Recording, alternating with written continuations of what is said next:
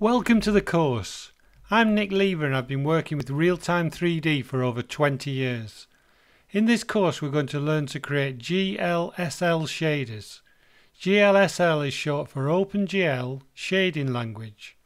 GLSL is a programming language of its own and it's similar to the C programming language. My aim is even if you've never coded before you'll be able to follow along with the course because we're going to look at the language from its basics. I think you'll find it's going to be fun.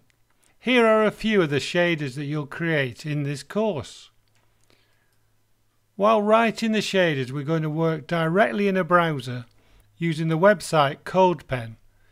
That means all you need to work along with the course is a browser. I'd recommend Chrome.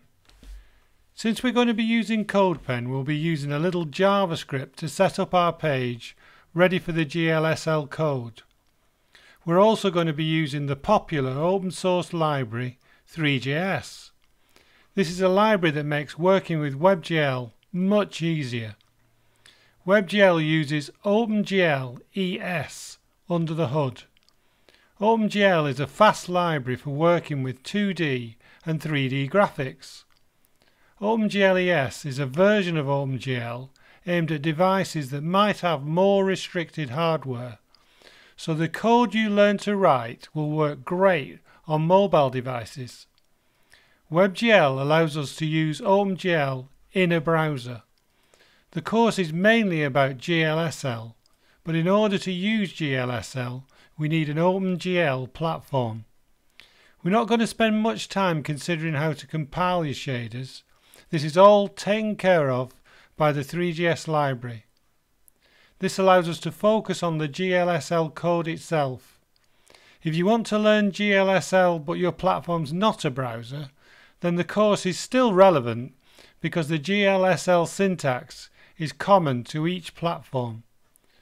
The course is split into sections. Section 1 introduces some basic concepts. Section 2 you start to write your first shaders. In section 3 we look at shaping functions and in section 4 we start to look at the amazing flexibility of adding noise functions to your shader code. In section 5 we look at showing images or textures in your shader and how you can play around with these at lightning speeds. Each GLSL shader has two components.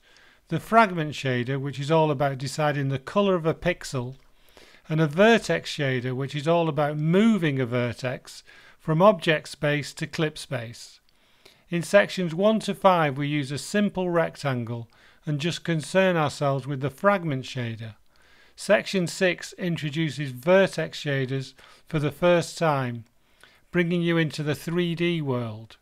If you want to work in 3D, then you will probably want to add light into your shaders, and this is what we look at in section 7. The Three.js library has several shaders that you can apply after the initial screen is rendered. We call this post-processing and section 8 introduces you to the amazing possibilities of using this technology. Finally in section 9 we will review all the amazing things you've learned. Whether you want to create amazing image transitions for a website or you're making a huge multiplayer 3D game GLSL is so worth learning and the methods of shader development apply even if you work in another shading language like HLSL as used by Unity. This video is taken from the course Learn GLSL Shaders from Scratch. A link to the complete course is in the description below.